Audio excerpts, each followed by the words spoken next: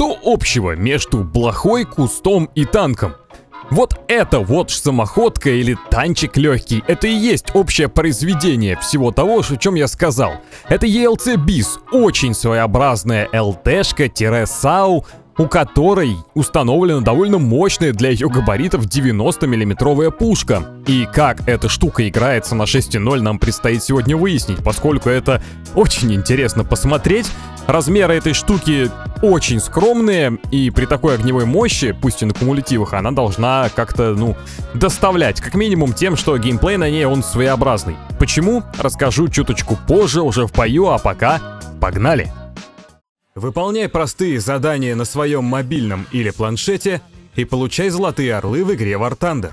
По моему промокоду на экране вы получите свои первые 10 золотых орлов. Ссылка в описании. Take a closer look at that meme. Итак, ELC BIS. Вот такая вот маленькая очень. Самоходная установка. Потому что смотрите, как у нее башня поворачивается. Это все. Дальше оно не ворочается. По сути, это как бы выглядит как башня от танка, но на самом деле это является просто подвижной рубкой, если можно так сказать. У нас всего два члена экипажа. Маленький двигатель, два члена экипажа. Вон, посмотрите, как мы выглядим рядом с гвоздикой. Мы раза в три меньше, в два раза ниже. Короче, прям самая настоящая коляска по сравнению с гоночным болидом, но при этом нас не обделили 90-миллиметровой пушкой, которая на кумулятивах способна выдавать довольно солидное пробитие в 320 миллиметров. Но вопрос только в уроне и в том, как же нам жить. Есть основная проблема в том, что, еди- естественно, этого брони вообще нет никакой, хоть и есть подвижность. И, соответственно, это не считается ЛТшкой, потому что это как бы САУ. И, соответственно, у нас нет разведки. А это уже меняет немножко дело. Если бы мы могли просто стоять, посматривать по сторонам и разведывать всех неверных, это было бы одно. Другое дело, когда мы можем по ним только стрелять. И вот с этим как бы косяк. Углов, разумеется, у данного аппарата довольно немного, но вниз хотя бы минус 8 есть, это позволяет нам хоть как-то действовать из-за укрытий. Но опять же, горизонтальное углонаведение такое не позволяет делать никак, что, соответственно, серьезно мешает нам выбирать позицию. Вот, но, тем не менее, работаем с тем, что имеем. Ну, не забываем, что лучше бы здесь были подкалиберные снаряды, конечно. Потому что кумулятивы очень неудобны, вот, например, в кустах, где я как раз-таки и занял позицию. Или вот надо будет закинуть вот туда вот куда-нибудь, например, да? А ты этого сделать не сможешь. Слушайте, у нас прям там что-то очень зверское происходит везде. Оно как бы с одной стороны интересно, а с другой... А смогу ли я... А я не смог. Хотя вроде как близко выстрелил к этой штуке. 7 секунд всего лишь перезарядочки. Ать! Попал! Ха! Сломал казенник. Отлично. То есть это прям самое максимально... Вот антипод FV4005. Максимально мелкая САУ. Максимально не готовая к прямому столкновению. Да, и наносящая урон вот такого формата. О, с другой стороны, я только что танканул. Заряжающий механик-водитель. Э, зря я, конечно, вылез. Я что-то не ожидал, что их прям трое. Но смешно, что получилось танкануть. На ней легко набивать зато на какой-нибудь суперкорсар на снэбах. Мы на нем обязательно потом пойдем в бой. Ну, блин. Урон по королевским тиграм. А наносить-то его как? Вот я два раза их пробил. И ноль осколков, только то, что по прямой задел, то и погибло. Но, ладно, первый бой, так сказать, он ознакомительный. Для вас рассказываю, что с техникой как и так или не так. А вот в следующем бою попробуем сыграть более тактикульно. Где-нибудь встать, максимально врага подождать. Ну, а как эта штука еще может играться? Это прям максимально красивый танк. По-другому оно не работает. Нужно занять такую позицию, где о тебе знать не будут. Блин, мы, мне кажется, это все потеряли, эти позиции. Как и в целом вот здесь. Я, наверное, останусь пока вот тут. Вот так вот сделаю. Чтобы в случае что хотя бы иметь возможность стрелять вот сюда по проезду. Слева я закрыт от врага. Здесь меня тоже вроде видеть особо не должны. О, помощь в уничтожении за тигра дали. Это красота. И как-то вот так. Эта штука в первых рядах, очевидно, не играется. Это как АСУ-57 в какой-то степени. Только у той хотя бы камерники есть. У нас Увы и ах, камерников не наблюдается. Что неудобно в некоторых ситуациях, но как бы... Меня никто не спрашивал при проектировании этой машины, сделал бы я и камерники или нет. Вон, кстати, проехал кто-то, но я прозевал, да и тут кусты. Боюсь стрелять через кусты. Вон еще кто-то проехал, а я решил на стуле позу поменять, вместо того, чтобы целиться. А был бы я в прицеле, мог бы выстрелить. Мог бы попасть, наверное. Но уже все, проспал. Ну и ладно, они уже проехали. Можно нам попробовать вернуться вот на эту позицию. Если меня, конечно, отпустит вот это дерево, которое меня даже не касается. И пострелять все-таки из кустов, потому что так определенно для нас безопасней и интересней. Валим, валим. И еще одного королевского тигра второго уничтожили, по которому мы попадали. Надо ее кустами завесить, мне кажется. Эх, что будет, эх, что начнется. А назад у нас какая скорость, ну-ка? А назад хорошо едем, то есть поменять позицию в случае чего не проблема. Поэтому то, что здесь башня, не башня, не настолько критический недостаток. Да, вот здесь где-то танчик есть. Где-то он здесь есть. Нас, правда, это не особо касается, да? Я, наверное, вот эту позицию займу. Между кустов. Но я, опять же, не вижу здесь технику. А у меня, как назло, здесь сплошные кусты мешают мне. А если я правее маленько выйду вот сюда? Да, я здесь его не вижу. Он как-то очень уж хитро вот за домом стоит. Я могу вперед подъехать. Не, здесь я буду как на ладони для всех. Он тигр королевский. Он не ожидает нападения. Опа! Механик-наводчик. Тигру просто надо в правую часть стрелять. Да-да-да-да-да-да-да. И в левую часть добиваем. Все, произошло добитие. После этого меняем позицию благодаря хорошей скорости движения назад. Буквально красота. Мне нравится. Здесь всех похоронили. Союзник у нас слева все обошел, все сделал. Здесь Исян первый стоит. Врываться, наверное, это будет ошибкой, но я хочу. Первый ознакомительный бой можно и так сделать. Он тут тигр, он меня даже может не видеть. Та-та-ра-та-ра-та-та-та-та! Понятно? Я за это поплачусь, да? Нет, не успел. А теперь наводчик и командир у тебя отъезжают, дружище. 7 секунд перезарядки все-таки дело поправляют. Механика-водитель. Он пересадит экипаж и может меня за это наказать. Придется вот так вот его замансить. Просто великолепно. Все, что я могу сказать, это просто великолепно. У нас есть танк там, но... Но там есть и тигр. А я-то понадеялся, что все, раз наш союзник так далеко прошел, значит там нет никого. Конечно. 10 раз, скворечно. И этого тигра, что самое смешное, в момент моего выстрела по нему еще и добили, то есть фраг мне не достался. Четыре помощи. Но вы поняли, чем вы будете заниматься на вот этой вот штуке, да? Бесконечно делать помощи всем и вся. Потому что нанести урон на ней невозможно. Так, там есть авиация, это первоочередная задача. Наша королевская кобра с кого-то сгрызла? Сгрызла. Сгрызла. Мне бы надо штурмить, понятное дело, но попробую сначала кобру как-нибудь прикрыть. У меня как раз хорошее вооружение для этого.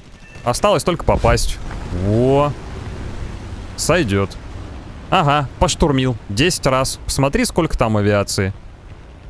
Господа, а почему вы мне не дадите на Корсаре со снебами сделать грязь с противником без снебов? Конечно же, конечно же урона у меня не будет. 20-миллиметровые пушки у меня ведь для этого и нужны. Чтобы не наносить урон. Полностью согласен. Это меня размансит, да? Это меня размансит, и на этом я умер, собственно. Все, убежать я от него уже не убегу. А что, вообще-то я на штурмовике. Корсар со снебами очень тяжелая штука. Ну, по крайней мере, может быть, какой-то проход смогу сделать. Вот здесь над противником вон вижу кто-то. А, там зениточки, ё-моё. Ну тогда я вот так вот поделаю, может что-то залетит. О! Сразу залетело. А ну-ка с пушек сюда, сюда, сюда, сюда, сюда. Сюда все! Сюда все! Обожаю корсар со снэбами. Меня еще некоторая часть этих чуваков бросила, не посчитав, видимо, страшной участью для себя. А зря. А я ведь вас всех сожру. Я добрый людожор. Добрый людожор. О, зенитка. Эх, по ней не попал. И мне оба крыла оторвали. Ха, смешно. Ладно, погнали в следующий бой. Сетап, короче, у этой штуки просто максимально бесячий для врага. Дикая штурмовка, EBR, Лоррейн и Биска. Господи, французы 6-0 теперь что-то с чем-то. Погнали. Дальше, еще боечек. Так, елка отправляется на охоту дальше. Посмотрите, мы раза в три ниже, чем Шерман. Это вместе с башней. Это я только про корпус говорю, что мы ниже, а у него вон как это все торчит. Поэтому эта штука действительно прям крайне бесячий может быть, особенно на некоторых, не знаю, картах, где много где можно спрятаться именно в каких-то укрытиях. Да тут она везде найдет для себя какое-то укрытие. Любой камень становится для нас укрытием. Но понятное дело, да, что выживаемость никакая, и вы сами видели, что происходит с уроном. Это, пожалуй, те кумулятивы, урон у которых до сих пор кумулятивный классический. Как мне кажется, все-таки многим кумулятивом урон пофиксили. Пофиксили в сторону увеличения они начали образовывать хоть какие-то осколки. Вот. Но, естественно, только не кумулятивы этой штуки. Калибр небольшой, хотя как, 90 миллиметров это вообще крупный калибр. Ну вот, игра считает, что нет. Но она нет и суда нет. И знаете, что еще неприятно для нашей самоходочки? То, что у нас, ну, мы очень низкие, это и плюс, и минус. Минус в том, что мы можем, ну, не прострелить забор какой-нибудь вот такой. Он нам будет мешать стрелять. Так, я предлагаю ждать смотреть здесь. На точке А противник. Мы его, соответственно, тоже ждем. Странно, что здесь так мало, но они вот все в центре, а наши очень медленно едут как раз-таки. Поэтому, сломя голову, лететь вперед, наверное, будет большой ошибкой. Прям вот едет, едет, едет, а я его не вижу. А он прям же передо мной где-то. Очень странная история. А вон едет он. Наведение башни быстрое. Он меня не видит? Он меня не видит. Это был длинноствольный Шерман со стабилизатором. Держу в курсе, он мог бы нас убить, но я оказался более ублюдком, чем он. Но на этой технике по-другому играть нельзя, к сожалению. Так что, увы, ях. вообще, это я не его слышал, а кого-то другого. Кстати, слева нашего союзника убили только что что не очень хорошо для нас. Где этот человек? Ага, он звучит здесь, но не будут подставляться. Вот сейчас он будет выезжать, наверное, судя по звуку. Ориентироваться приходится только на это. Нет, ну прям передо мной как будто бы. Я не понимаю. А, вот оно. Вот оно как, понятно. А, да? Все ясно. На ходу. Бабам-бубум. Превосходно. Я сначала не понял, кто это такой едет, поэтому не стал стрелять кумулятивом, я бы его ваншотнул. Я думал, надо выстрелить ему в правую часть корпуса, а он только меня заметил, сразу выстрелил. И, разумеется, это ваншот, ну, по очевидным причинам. Количество нашего экипажа не позволяет нам вести боевые действия при хоть каких-либо повреждениях. Поэтому нас просто развел М18, которого наказал свой же суперкорсар. Точнее, это обычный корсар. Ой, противники мне подыгрывают определенно. Хотя с моей командой, которая здесь вот в одном месте что-то как-то зависла, еще неизвестно, кто кому подыгрывает, потому что точку мы как-то не захватываем. Блин. Теперь совершенно непонятно, а что делать, потому что вся эта часть карты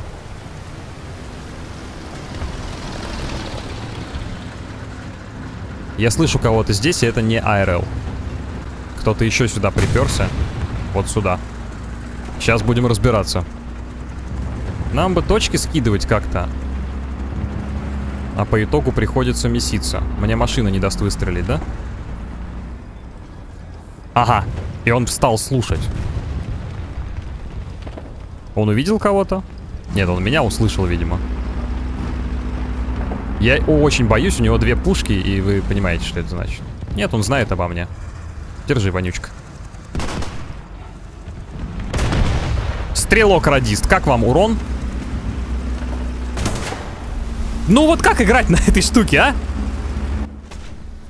Я не знаю, у нее просто абсолютный ноль урона. Ха. Я даже на корсар со снэбами не накопил. Это какой-то смех. А, я слишком агрессивно играю на ней. Это реально просто тупо кустовой демон. Максимально в кусту стоять. Только с кумулятивами, с такими. Как в кусту стоять? Смысл-то мне? Ну хорошо, я вдал по нему выстрел. И, и чего я добился? Первым. Ох, тяжело. Пойдем следующий бой. О, это будет очень печально. Точка А, она одна, и здесь будет Махач. Блин, как же подводит орудие на этой штуке. Просто безумно. М -м, я на ней все лечу, пытаюсь... Так привык к танкам с хорошими орудиями на каморниках, которые наносят хоть какой-то урон, и вот... Вот это вот разочарование прям максимальное. Это 90-миллиметровка. Ну как можно было вот так вот настроить это? Действительно, эта кумулятивная струя, она настолько, ну, как бы ничтожная, да?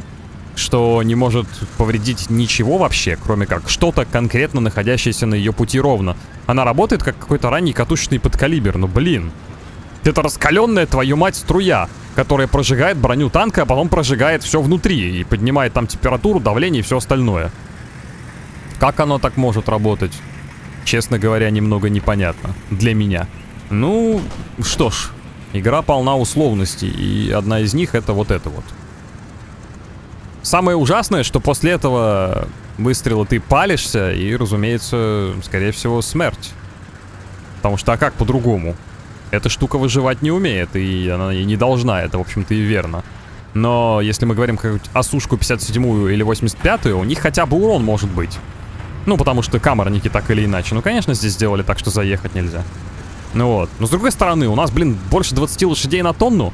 Мы ездим вперед и назад, как непонятно кто. У нас маленькие габариты. То есть это бесячая хрень. И давать ей орудие еще и ваншотающее все это была бы адская имбень. И, и вот я в замешательстве от этого. Надо привыкать к этим недостаткам, но как-то прям грустно с ними жить. Совсем.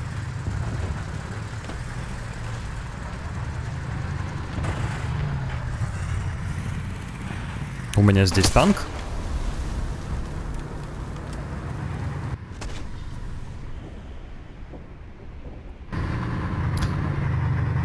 Я не хочу привыкать жить с этими недостатками.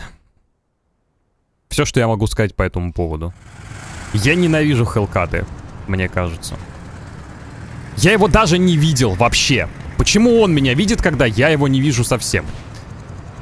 Ладно. Предположим, так нужно. Я полностью фрустрирован, больше я не хочу играть на этой штуке. Она не настолько быстрая, чтобы обгонять хелкаты по итогу. А как бы... Ну и что теперь? Всякие вон рад или ЕБРы уехали еще дальше. Их все это дело никак не затронуло. Опять по итогу я выгребаю как самый умный. Точка А, естественно, падает, потому что на нее никто не поехал, кроме меня туда все объезжают. Ладно, сейчас будем разбираться. Ну вот опять Hellcat. Я просто ненавижу их, мне кажется. Они везде, они уже везде, все. Их слишком много, их не, вы, не выкуришь теперь. Так что вот там сто процентов где-то. Везде Hellcat. Кто его еще мог убить? Откуда? А, так вот и Hellcat, да, судя по всему. Вот ты, вы видите Hellcat в этом кусту? Я нет. А он есть.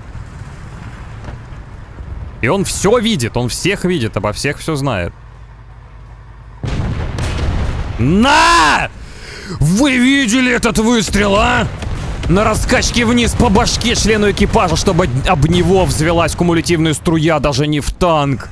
И его убило избыточным давлением от кумулятива. А кто умный? Не я. Ну какая же ты скотина, этот Хелкат. Он всю нашу команду перерезал. Так вот тут их еще стоит. Целая пачка. Но вот это можно прям, да, запоминать и так вот делать. Если у вас кумулятивы, можно стрелять в любую часть Хелкета. В том числе и просто в, в экипаж. Да почему им целиться никому по мне не надо? Они просто на ходу в меня херачат. И самое, что смешное, попадают. Прям в центр корпуса мне дал, не сводясь, не наводясь. Ой, господи. Пойдем в следующий бой. У меня прям уныние с этого танка. Так, погнали на елке на точку А. Знаете, что у меня сейчас вызывает такой большой м, диссонанс и неудобство? То, что есть техника. Вот, допустим, тот же Hellcat, да? У которого тоже нет брони, который тоже такой же быстрый и даже быстрее, чем мы, оказывается. И у которого есть камерники. А, он живет, блин, скотина. Вот этот Hellcat, если не стрелять по нему кумулятивами, он живет, а в основном кумулятивами тут никто не стреляет. И это как бы и наш плюс, и наш минус. И при этом у него рубка открыта, и он живет, а мы вообще не живем. Башня полностью не поворачивается, и реально остается... Он может активно влететь, башню повернул в бок, выстрелил, попал, убил, камерник мощный, все дела, а нам остается только крысить, несмотря на всю нашу скорость. Мы ее не можем применить. Да и самое главное, почему-то эта техника, ну, не ощущается такой же быстрой, как Hellcat, потому что что-то вот они как-то быстрее все эти позиции занимают. И это прям вызывает фрустрацию. Урон и отсутствие живучести как таковое. Хотя это же, блин, очевидно абсолютно, что у этой техники ни живучести не будет никакой. Но вот урон, дополнение к этому создает неприятное комбо, что ты часто очень можешь сделать так, что противник не умирает после твоего выстрела. И после этого тебя ваншотят. Все. Вроде казалось всего две мелочи, а вместе они делают полностью бесполезным всю твою концепцию в рамках игры, понятное дело. Но это при условии, что ты вынужден бороться в ближнем бою с врагом, наверное, и он на тебя обращает внимание. Ну вот пока обращает, потому что, видимо, я слишком агрессивно играю. С этим ничего не поделать. Ну, точки захватывать можно, с другой стороны. Весь сетап тут у нас получается абсолютно такой же. Забавный. Здесь должна быть уже техника противника, которая въедет сейчас к нам. Ну вот, блин, был бы я на Хелкете, я бы встал за куст и, не выезжая из-за куста, стрелял. Но здесь я так не могу, потому что кумулятивы взведутся из-за куста. Для меня кумулятивы на этом боевом рейтинге это больше минус, чем плюс. Тем более для техники, которая и так и так объезжает по бортам. Смысл мне пробитие 320 иметь в этом случае? Большого смысла нет, мне и там 150 хватит, как у Хелкта или сколько у него там.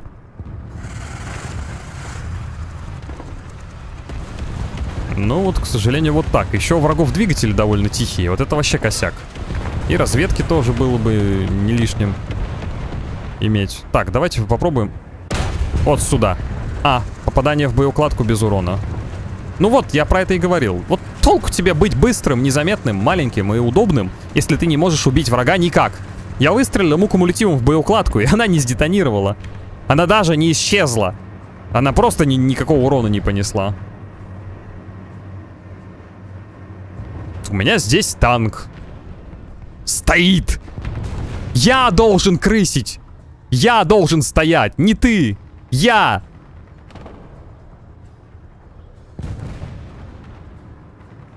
Ну, на этом все. Вы поняли, да? Смысл тебе брать специализированную технику для крысятничества, если крысятничает все равно противника, не ты. Вот и я не понимаю.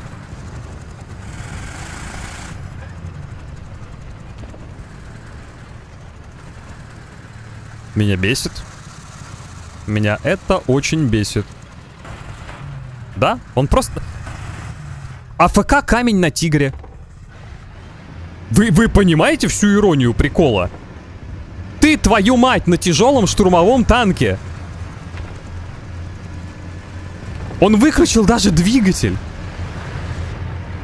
И смех и грех просто. И самое смешное, что я не могу ему просто вшатать куда-нибудь на рандоме, э, чтобы его убить. Механик-водитель, я опять не убил ему наводчик, и за это я умру. А, привод горизонта, слава богу, господи, я в это не верю. Каким же чудом? Топливный бак, урон.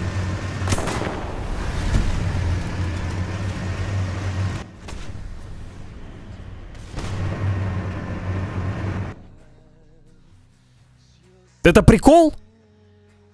Килограмм тротила в снаряде. В кумулятивной струе под диким давлением с высокой температурой врывается в боевое отделение тигру два раза. Топливный бак. Королевский тигр танкует боеукладкой. Обычный тигр танкует пространством и людьми,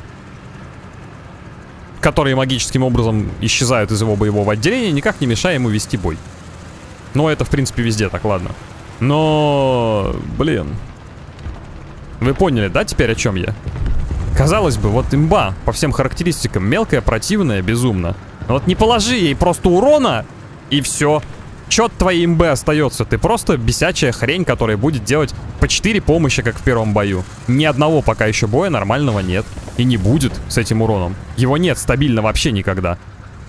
Ладно, есть ломы на топах. Они то дамажат, то не дамажат. Но это вообще никогда не наносит урон нормальный. Вы хоть один ваншот видели? Мы еще и воюем, как назло, против тигров, королевских тигров и всего такого, у чего огромное заброневое пространство. И чего не убить? А я... А я... Куда не попади, вот, смотри, вот, куда? Вот, да, кусочек боевого отделения. Конечно, взведется снаряд, ну, разумеется, конечно. Конечно, у меня... Ой, меня в голову вступило. Я... Ах. Это очень больно, играть на этом. Я понял, это была большая ошибка. Я ожидал... Я никак не мог думать, что это такое говно. Пойдем еще один бой. Знаете, я что-то очень сильно фрустрирован от этой елки. Просто потому, что у нас есть еще... Ну, во-первых, елка не обязательный танк прокачки, а во-вторых, у нас есть вот эта штука, Сейла Рейн. У которой подвижности еще больше, чем у нас и 100-миллиметровая пушка на сплошняках. Но когда я об этом подумал и взял ее, вот выключив запись э, в предыдущем бою, просто так докатать бой, я поехал, сделал рикошет о борт этого тигра, снарядом 100-миллиметровым с пробитием 270 миллиметров. И после этого я уже в принципе не знаю, может быть сегодня просто меня прокляли, и я не знаю, что вообще нужно сделать, чтобы снять это проклятие. Потому что, ну, блин, Одно могу сказать точно, Сейла Рейн быстрее, чем вот эта елка. Елка довольно медленная по сравнению с ним. Но зато у нас гусеничный ход нормальный. Хотя там тоже, но как бы с нюансом. Ай, в общем, все оно с нюансом по итогу получается, со сраным неудобным нюансом. Давайте вот так вот сделаем. У нас есть дымы, это, конечно, здорово, только летят они сами, видите, сколько. Надежды на них особой нет. Я бы здесь развернулся, чтобы свалить просто отсюда сразу же. Я очень надеюсь, что я успею. Не очень-то хочется умереть. Можно было не разворачиваться, просто кормой заехать, значит, на точку. Все, захват зоны есть. Валим отсюда. Там, потому что очень много чего слышно нехорошего. Давай, елка. Конечно, отсутствие полноценной башни, да, это прям неприятный нюанс. И баллистика-то вроде хорошая, и все остальное, но... Что это вот такое? Под нами где-то ездит вот здесь танк противника. По итогу у меня просто сегодня переигрывают. Я ошибаюсь, ошибаюсь и ошибаюсь, а эта техника не прощает ни единой ошибки. Ну, вы сами это уже все увидели. О, насушка куда-то лезет. Она-то может быть за счет БРа поприятней. Двигатель, я думаю, еще вполне различимый у этой штуки. Видите, меня все слышат. И Хелкат, и Тигр, все меня ждут, все меня уже знают, что я еду.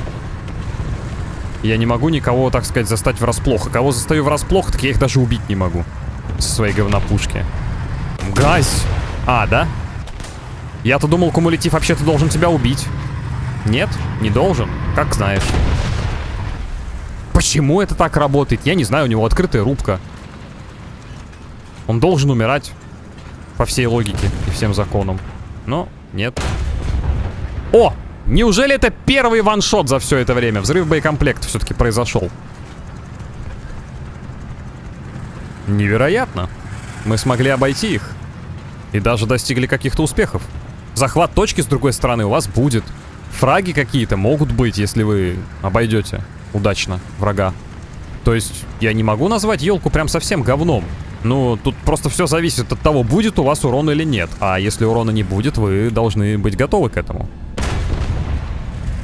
Двигатель, наводчик. Понятно. Он его не убил, кстати. С другой стороны, вон, чувак, да? На подкалиберах. Тоже, что ли, убил? Да нет, не убил также на Центурионе. А мы вон летаем как бешеный и стреляем кумулятивами с таким же пробитием. И даже углы какие-то есть. Поэтому я считаю, что это просто мне не везет сегодня. Не могу сказать, что это отвратительная техника. Потому что это не так. Даже раскачка какая-то приемлемая, что ли. Опять Т-20 выживает с красным членом экипажа. А, техника уничтожена, он решил ливнуть, да? Правильно сделал. Ну, вообще, вот смотрите, нам дали сейчас прорваться, и противник начал рваться. Я, наверное, останусь просто тут, и вот у меня все как на ладони. Бали... Баллистика норм, ну, приказ, превосходный урон.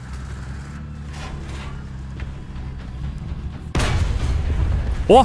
Взрыв боекомплекта. Пантера, правда, уехала уже. Смогу ли я увидеть ее еще раз? Откуда? А, -а, -а ясно. Все понятно. У них тигр справа. А, у нас вся команда умерла. Я это как-то даже не заметил. Понятно. Ну, тут я сам дурак. Уже захотел постоять около вражеского респауна, постоял. Погода, конечно, очень летная. У меня даже дублеры кончились уже на этой технике. Ну, смотрите. Вот есть удачный бой. Ты на этой штуке влетел, захватил точку, поубивал противника, если ты хочешь на что-то пересесть, и пересел на что-то другое, на самолет, на другую технику. Так что у Франции в этом плане гибкий сетап. Просто стволы очень своеобразные. Нет универсальной имбы какой-то, знаете, чтобы это танк с броней, и с живучестью, и все такое. Ну, таких, в принципе, мало в этой игре. Так что тут я сам дурак во многом, что лечу и подставляюсь. Учитесь на моих ошибках. Лучше на моих, чем на своих. Так, меня чуть не уничтожили, кстати говоря. А, да? Да, я предпочитаю сказать, что сегодня просто у меня очень неудачный бой. Первая же пулька из Браунинга попавшая в меня, меня поджигает. Ну, вы это верите? Я нет. Просто сегодня что-то меня возненавидело очень сильно. А что именно, это большой вопрос. Да, я застрелил эту зенитку, хотя бы так. Пойдем в следующий бой. Еще разочек надо попробовать. Я буду продираться через сегодняшние бои. Они ублюдские, но еще один хотя бы нормальный я обязан сыграть. Так, елка на той же самой карте, так еще и с одной точкой. Идеальная квинтэссенция крысятничества, хочу сказать вам. И знаете, что нужно сделать, я думаю? Максимально не ехать на точку. Мы уже все все поняли. Если ехать к противнику, то ты сдохнешь на этой штуке. Поэтому надо ехать куда? Правильно. Вот, в идеале вот сюда. И здесь и встать. Ну, я, это шутка, понятно, да, вы поняли? Надо найти какую-нибудь позицию, куда поедет такой же один дурак, как и я, дай бог, его как-нибудь переиграть, застрелить и выехать им в борт. В этом и весь смысл. На самом деле ведь не обязательно на этой технике отыгрывать весь бой в этом сетапе, да? Взял потом авиацию, на авиации слетал, пошел на Лорейны сел, на ЕБР сел. Вообще, борьба за точки у Франции получается очень мощная, потому что это все быстрая техника, и некоторые из них даже с довольно мощными пушками. А так надо вот тут вот встать, углов хватает, и смотри уже, что можно творить, какую грязь. Он стоит 34-очка, а ты уже можешь по ней стрелять. Летит Хелкет, надо его убирать. А, да? Слишком хорошая баллистика. Я сейчас умру за это? Как вы думаете? Нет, они все-таки еще не раскусили уровень пранка. Вот что это за урон кумулятивом? Почему он взвелся ему АВЛД и не нанес урона? Мне вот интересно. Как так оно случилось? Вот, наконец-то, этому экипаж ваншотнул. Опа, меня раскусили. Да, играть от позиционки на этой штуке довольно удобно. Главное просто не пропустить в, в это по башке. У меня слева танк. Ага. Я не сомневался в тебе, дружище. Ну и все. Ну и все. Все. Абсолютно все. Если ты думаешь, что ты главный объездун в этой игре, конечно же нет. Главный объездун вон кто-то. Вот он, вот он объездун. Вот он правильно делает. А я вот так не сделал, я умру за это. Да, есть еще одна проблема. Елка будет играться на других БРах лучше. Если ее взять повыше на боевые рейтинги, не будет где хелкетов, то ей будет лучше. А у американцев это супер популярная техника, легкая. Ну, вы сами видите, как они бесят. И где они все время находятся. Когда хелкатов не будет, мне кажется, на этой штуке играть надо на 7-0 вообще, а не на 6-0. И ей будет там гораздо лучше, чем против хелкетов. Бесконечно. Потому что они главная наша проблема. Ну, как и в целом. Главная проблема этого боевого рейтинга, эти бесконечные хелкеты. Кстати говоря, он сдох. Его прилетели и разбомбили, и правильно сделали. Я считаю. Я уж просто увидел, что я могу по ним туда стрелять, и давай, думаю, стрелять. Нет.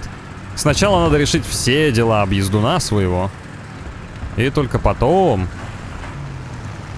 Да... Они там такой толпой на одной позиции стоят. Вон опять королевская кобра еще двоих бомбанула. Это что-то... Это пранк такой? Они там просто все встали на одну позицию и там стоят? У них вообще мозгов нет, что ли? У меня здесь бульдог, кстати говоря. Я, конечно, приехал сюда же, но в этот раз я поеду еще дальше. Если бульдог даст мне проехать. Блин, они там прям едут так красивенько. Так, 34-очку в ангар.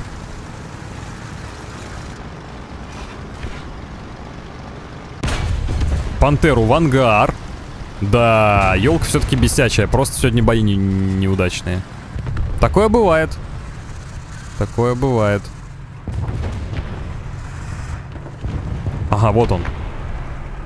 Он умер? Нет, он не умер. Опять по пулеметику в командира невидимого. Ммм, какая я неприятная хренотень, а? Все, стой, крысь дальше. А, у нас еще... Еще более крысиная крыса есть. Классик. Да, разведки, конечно, очень не хватает с крысками бороться. У них в этом плане есть преимущество. Но, увы, ах. Четыре фрага. Елка неприятная техника. Смотри, делает фраги-то. Вон он едет. Просто я занимаюсь не тем. Надо сначала бороться с крысами, а потом самому становиться ей.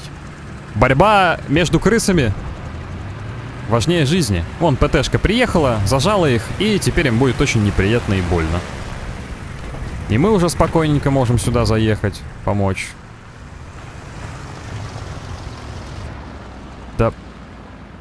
Конечно. Десять раз, я ничего не вижу теперь из-за этого. Ай, давай. Вверх не поднимается, вниз не опускается. Урон не наносится. Сам криво выстрелил опять. Не знаю, на что тут можно жаловаться. Кроме урона. Вон они теперь. Как бы все. Да, надо было просто перекрысить крыс. А, ну... Да. Вспоминаем про нашу броню, которой нет. Любой корсар, который будет пролетать рядом, любой самолет, который вообще, в принципе, будет пролетать рядом, он сделает с нами вот это. Ему даже думать не надо. Экипажа два человека, брони, брони, да, 8 миллиметров. 8 миллиметров брони пробивается абсолютно чем угодно. Так что артиллерия и все остальное заставит вас танцевать в обнимку с гробом. Э, что неприятно, но поделать с этим ничего нельзя. Так что, да, чисто крысиная техника на кумулятивах в этом плане неудобная. Есть техника для крысятничества получше, как вы поняли, да? Тот же самый Hellcat, например. Но елка... На ней тоже можно доставить неудобств. И неприятностей. Я врага не вижу. Куда они улетают? Ладно. Они здесь вообще не собираются менять ничего. Ладно, так и сделаем. Снебы хотят, хотят получить по голове. Пусть получают, я не против. Он наверху? Один-то улетает, вот я его вижу. Я не понимаю, где он. Я вроде и вверх посмотрел. Вверху нет. Значит, это он улетает один-единственный. Судя по всему. Значит, берем снэбы в руки. И идем гнобить респаун. Мне нужно хотя бы рядом с ним попасть, я так понимаю. А, он временно неуязвим. Я понял. Просто превосходно. Неуязвимые зенитки, мои любимые. Тигр 2 убил кого-то. Мигарь, Як, вроде все живы. Я могу тогда на респаун выйти и опять их вшатать. Вот здесь вот кто-то стоял. Тоже кто-то, кто нашел себе, так сказать, хорошую позицию. И надо бы его эту позицию лишить. Давайте вот по тигру отработаем. Во! И по сковороде тоже можно отработать. Во! Я говорю, противный сетап французский, не самый простой. Но, блин, стоит за ними следить перестать, и они наворотят делов, потом не разгребешь. Потому что что такое снэбы? Снэбы это счастье. Этого убили. Вот он где-то еще стоит. Кто здесь? О, еще один тигр стоит. Еще один тигр в игре. Девятерых настреляли. Так что что я жалуюсь? Да, елка, блин, уязвимая. Да, она сложная для игры из-за этого. Но это же читерская крыса. Ну, тут и противники мне попались, конечно, идиоты. Вот вы посмотрите, вот что они здесь делают всей толпой? Я понятия не имею. Этого я еще и раскритовал. Эти просто на одной полке сдохли, наверное, в десятером. Они не едут на захват, не проезжают дальше, они стоят на полке. Ну и испытывают по этому поводу какие-то теплые чувства, судя по всему. Ну, собственно, они за это и поплатились. Давай-ка попробуем по нему отработать. Да, у нас получилось поставить его на механика-водителя. Это летают союзники, значит, можно помогать мне! А почему я? Займись спидфайром, дружище. Нет, у него, я это, кровная месть осуществляется. Вы поняли? Поняли, да? Во, спидфайр его за это убьет. И второго, надеюсь, нет? Второго нет. Да, этот уязвим. И значит мы его съедаем. как я его прозевал? Да легко, собственно, я и внимания не обращал. Я не смогу его перевиражить никаким образом, я думаю. М-да, суперкорсар очень тяжелая штука. Поэтому... Давай-ка лучше под свои зенитки выйдем, попробуем. Там у нас вроде и авиация должна быть. Ага, наша. Там три вообще врага. Это я тот самый слепой штурмовик, который по сторонам не смотрит. Оказался. Но это победный бой должен быть. Единственный момент. Судя по всему, никто не собирается с меня снимать хвост, потому что некому. Ну, я пытался. Попытка не увенчалась успехом, к сожалению. Ну и я, собственно, я и не против. Вон тут зенит какая-то стоит. А, ну и все. Ну что ж, сказать могу я вам. Просто не перестраиваюсь я на, такие, те, на такую технику сложную. Легко. Но вообще елка способна сделать несколько фрагов и жутко поднасрать. Но вот именно, что это не техника имбовая, которая едет и выкашивает всех и вся, а именно, что техника-подсиратель. Прям неприятная штука. Иногда для игры в том числе, сами видели, по каким причинам.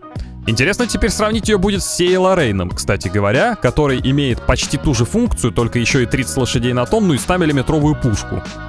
С перезарядкой в 9 секунд. Так что будет неплохо, да? Так что хотите видео, пишите об этом в комментариях, а я пойду пилить для вас эти самые видосы, собственно. Жду от вас фидбэка. Всем удачи и до новых встреч. Пока-пока.